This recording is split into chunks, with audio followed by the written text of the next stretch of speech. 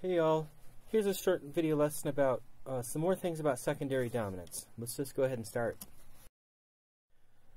Um, we've been talking about fives of, uh, which is a five in some other key, a dominant in another key. Well, we also know that a seven diminished has a similar function to a five, right? They're both dominant uh, functions. So, like a secondary dominant, you can use a secondary leading tone chord you could have a 7 in some other key, and it would have a similar function of tonicizing uh, something in a secondary key. But 7 diminished of 5 would be weaker, a weaker tonicization of 5 than 5 of 5 would be. But essentially they do a similar thing. So let me just give you one quick example. If I'm in C major, and I want to tonicize the 5 chord, which is GBD, you 5 of that G chord, as we've talked about, is, well, let's do a 5 7 of it. D, F sharp, A, C. That tonicizes the G chord. Now, if I want to just do a 7 of that, it would just be the 7 in the key of G, which is just F sharp, A, C. It's actually got a lot of the same notes in it. Um, so, uh, just a couple of things to keep in mind when you're using a secondary leading tone chord um, if you're tonicizing a secondary key that's minor, or tonicizing a minor triad, then it's going to be a fully diminished seventh chord in that secondary key, right?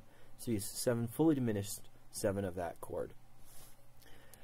If you're tonicizing a major triad, so you're you're doing a 7-1 in some other major key, you can use either the fully diminished 7 or a half diminished 7. The one that would naturally occur in that key would be half diminished right? That's what we get in major keys, a seven half diminished seven.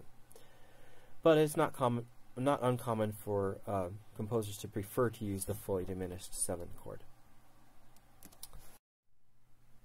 So here's an example now of all the different types of secondary dominants and leading tone chords we've discussed. Uh, we're in the key of G major, so my tonic is G. My dominant, which I'm going to be tonicizing here, is 5. D, F sharp A. Okay, so in the key of D, my 5-7 is an A7 chord, which resolves to the 5. Okay, now here's a 7 diminished of 5. You notice that the two chords are very much related. In fact, if you take a 5-7 of 5 and just remove the sol, soulless, then you get the diminished, uh, 7 diminished of 5. Um, now, we could take that 7 diminished of 5 and also add a 7th to it. So here's the 7 diminished to 5. We can add a B on top. And because on top that's a major third, that's half diminished. That's the kind that I would get in D major, right? That I'm tonicizing. Or I can add, change that to a fully diminished seventh chord. right? So that's an option. That doesn't really come from the key of D. It's been added as a kind of a colorful um, chord change, uh, but composers tended to like that sound. So here are the steps for spelling a secondary leading tone chord. They're uh, there's they're similar, but here's the first thing. Instead of going up a perfect fifth from the root of the chord you want to tonicize, just go down a half step to the ti. Right? You want to write a ti do in some secondary key. That ti is the root of the leading tone chord. So go down a half step and then write a diminished triad or, you know, a fully diminished seventh chord, I guess also a half diminished seventh chord, whatever is requested, on that leading tone. Just a half step, that's the important part. Just go down a half step from the root of the chord you want to tonicize. Okay, so those are the basic, uh, that's the basic approach. Um, and remember, the resolution for these is the same as for all seventh chords. If it has a seventh, uh, the sevenths go down. And if it this one would have a leading tone because the root of the leading tone, seventh, is the leading tone. That root's going to go up. The leading tone's going to go up. And because these are tendency tones, you should never double them. So those voice leading principles do not change. Here they are once again, just so to, to hammer it home. Sevenths resolve down. Leading tones generally resolve up. Resolve up. Uh, there's a couple of exceptions we've seen. Uh, you can frustrate a leading tone in an inner voice. Or if the next chord has a seventh, sometimes that leading tone gets deflected down if it's in an inner voice again to go to that seventh.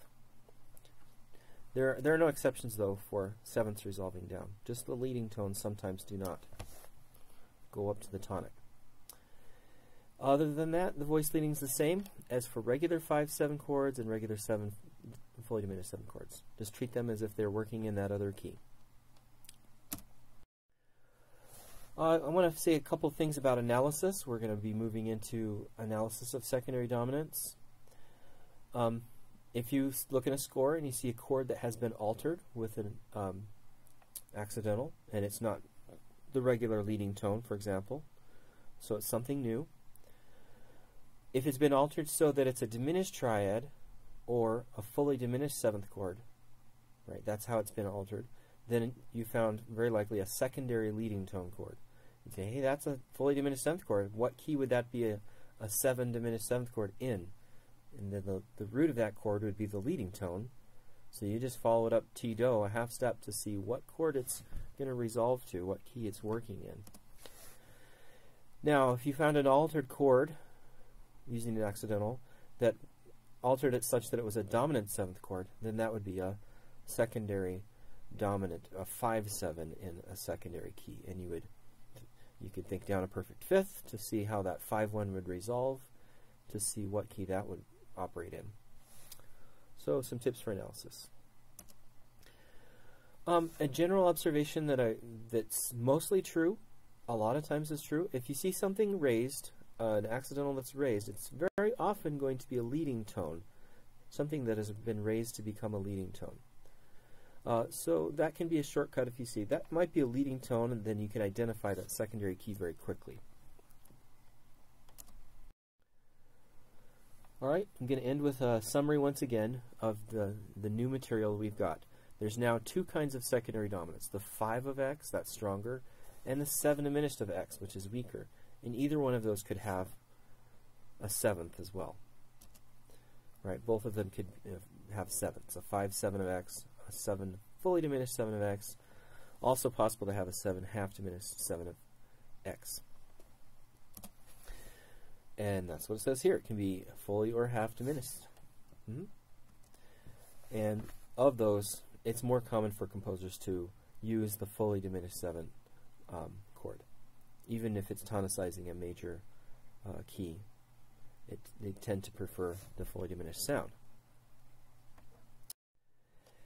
And this slide, I'll just let you read through, but here's once again the summary of how to spell secondary dominants. Here's how you do the five sevens in another key.